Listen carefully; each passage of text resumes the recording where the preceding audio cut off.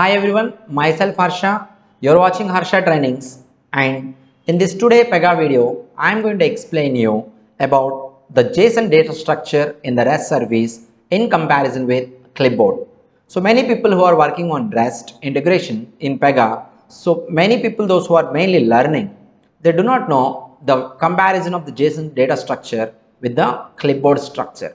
So when we don't know about this fact, then we will not be able to clearly understand how to create the data model and the property structure while we are designing the request or response model.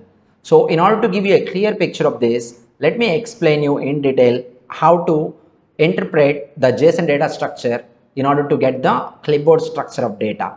So let's get on to our laptop to see this. But before we proceed forward, if you are the follower of our YouTube videos, don't forget to subscribe our channel and if you're looking for Pega training, please call us on the below number that is displayed in this video. Now let's get on to our laptop. This looks good.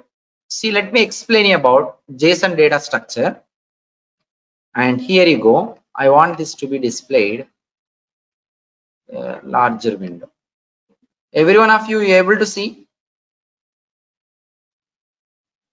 Every one of you. Yes. able to see okay look at here a json data structure when you come across it looks like uh, some data in curling braces some data in curling braces. Otherwise i will add it to the notepad. Why should i take it from somewhere? For example i want to collect the details of address. Okay curling brace open curling brace end. And here you go. Now what is this? You have address colon within this i am going to add one square brace. Within square brace i'm adding again curling brace again curling brace and in the curling brace i'm going to add the properties like door number colon some value. Okay what else street name. Okay. Okay. Like this i am giving. Two properties i have given. You can give a number of properties no?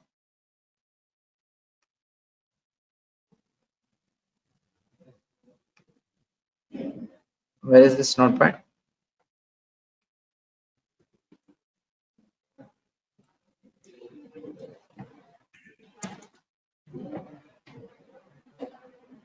you see here now. Here also same thing. But usually this will be in double quote. Double quote. Double quote. Like this it looks like. But i am not using double quotes previously